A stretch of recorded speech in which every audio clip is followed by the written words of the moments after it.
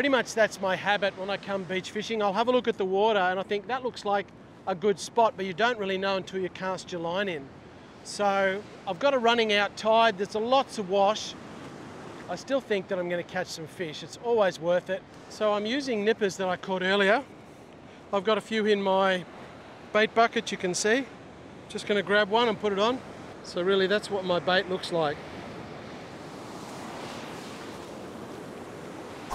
I've actually got a fish. What could this be?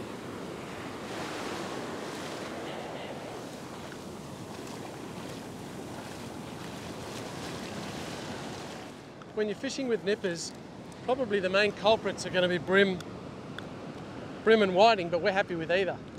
There's a nice, um, nice surf bream, not huge, beautiful colours. He's going straight to the table, this guy.